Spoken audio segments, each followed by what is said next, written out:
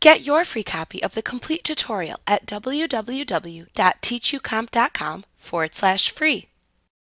New for PowerPoint 2016 is the Tell Me bar located to the right of the last tab in the ribbon. Enter a search term or phrase for what you want to do into the Tell Me bar to see relevant commands, command locations, suggestions, and a recently used list of commands. The Tell Me bar can help you find the things you need to do quickly without having to dig through menus to find the command you want. You can also access the Help and Smart Lookup functions by using the Tell Me bar.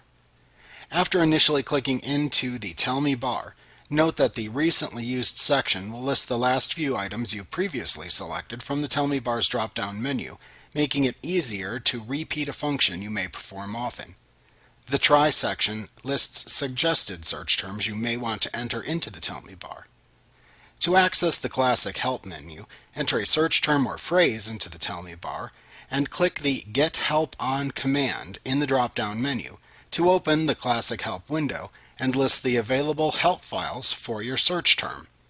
You can close the Help window by clicking the small X in the upper right corner. Like what you see? Pick up your free copy of the complete tutorial at www.teachucomp.com forward slash free.